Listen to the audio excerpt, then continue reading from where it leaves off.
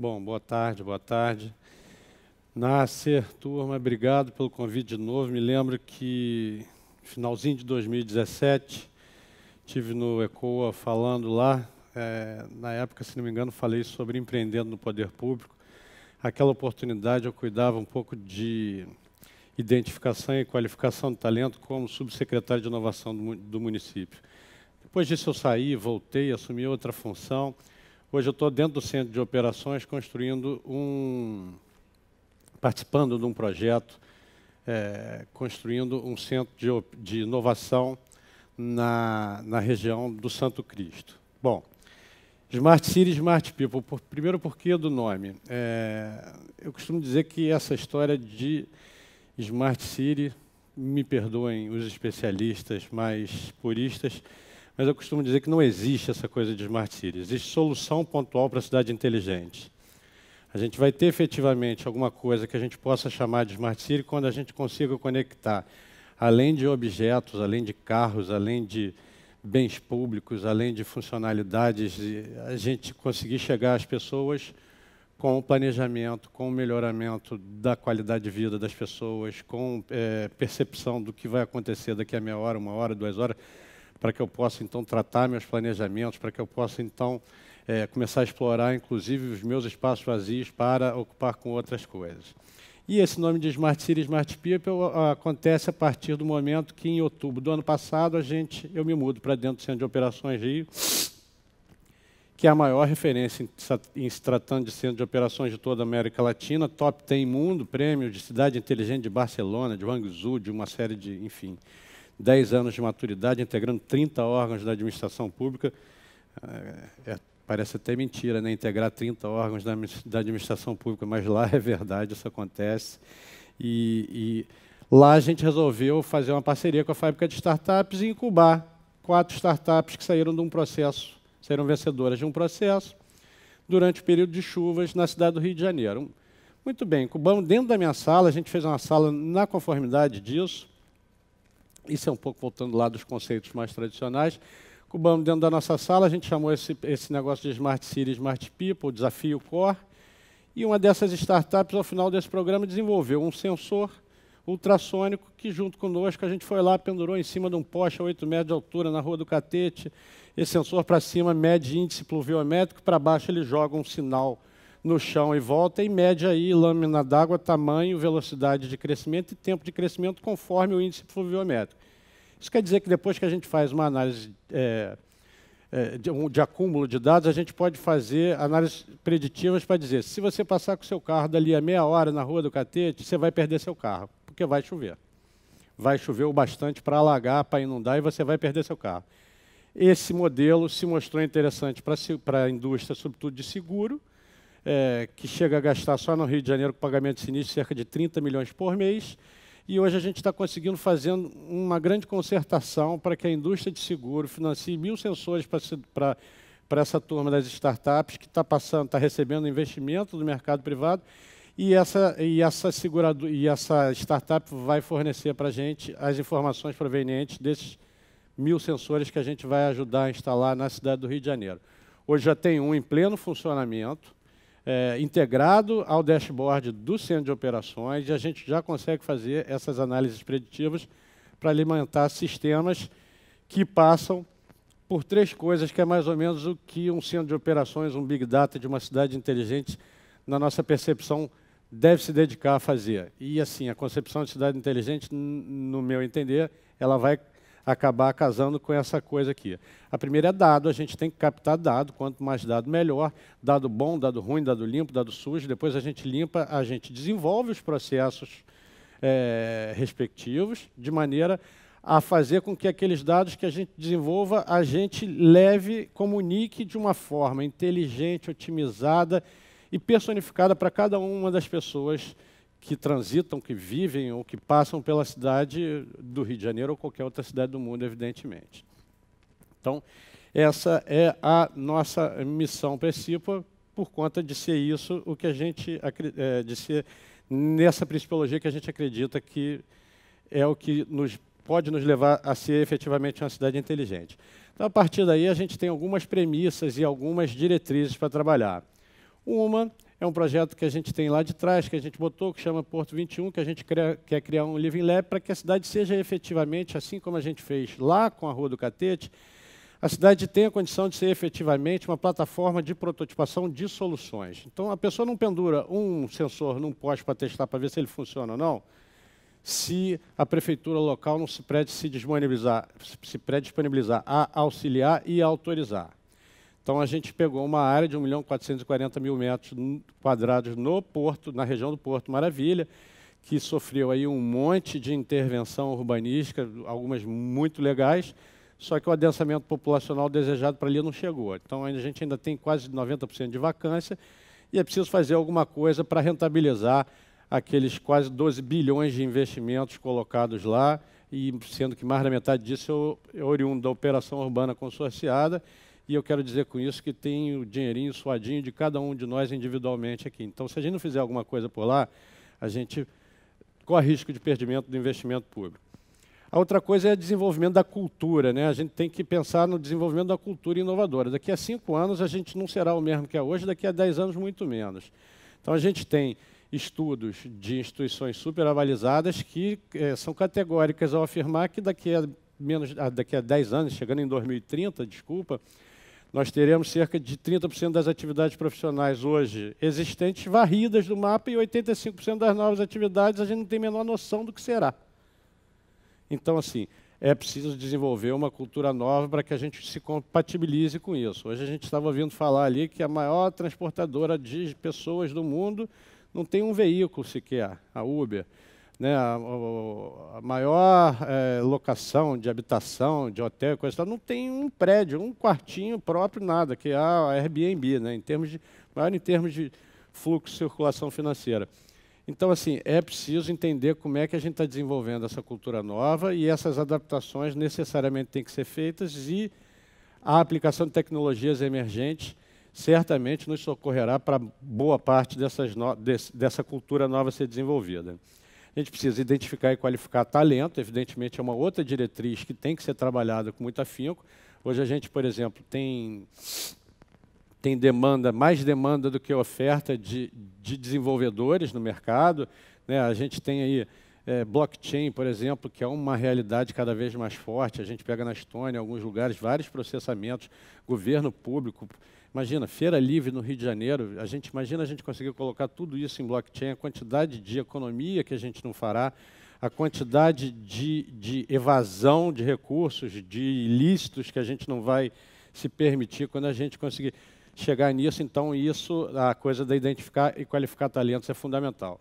Uma outra coisa, e eu trato essas coisas como metodologias e metas para a gente efetivamente chegar naquela coisa do captar dado, processar e entregar informação personalizada bastante para a gente chegar num conceito verdadeiro de cidade inteligente. A outra coisa é, é, é a realização e a extensão de uma quantidade de eventos de vários portes muito intensa. Isso nos permite é, compartilhar é, conhecimentos, realizar cocriações. Isso é uma coisa muito. Eu gosto muito de citar as revoluções. Né? Cada, em cada revolução que a gente viveu, quem saiu com determinado conhecimento, então é, saiu muito bem na fotografia, saiu muito bem na fita e avançou muito além dos outros. Então, quando a gente chega lá na Revolução Industrial, a gente pega a Inglaterra dominando as máquinas a vapor e coisa e tal, teve um upgrade no mundo. Depois eu não posso chamar de revolução, mas a gente pode pegar o movimento dos Estados Unidos com o enriquecimento do urânio. Foi um upgrade sensacional para a nação deles. O Japão na revolução tecnológica, por aí vai. A gente podia citar um monte de coisa. Mas é uma mudança de mindset para cada uma delas. Isso nos permite atrair capital de uma forma geral, desde que a gente também melhore um pouco a coisa do nosso ambiente regulatório, que é neurastênico, absolutamente maluco. Nosso a gente tem um ranking da Endeavor de 2016, se não me engano, que a gente passa por um número assustador, dizendo que é, na cidade do Rio de Janeiro, no ano de 2015, se não me engano, ou 16, posso estar enganado, mas pouco importa, a cidade chegou a editar, é, entre normas, leis, portarias, é, resoluções, decretos, etc., 116 normas.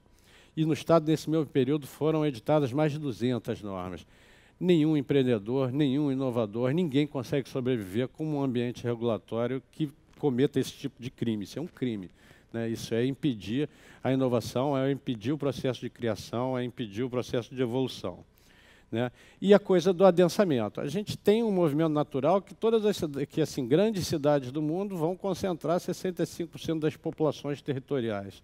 Então assim há uma natural evasão até em função da grande produtividade, sobretudo no Brasil do agronegócio, que a gente acaba fazendo muita concentração e fará é um movimento natural mundial em grandes metrópoles.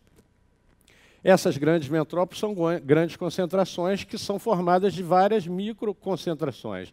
Então é, é importante que a gente concentre é, cadeias produtivas. Então, um pouco do Porto 21 lá que a gente falou é um pouco para incentivar e tentar concentrar esse ecossistema voltado para inovação, economia criativa e economia do, do conhecimento.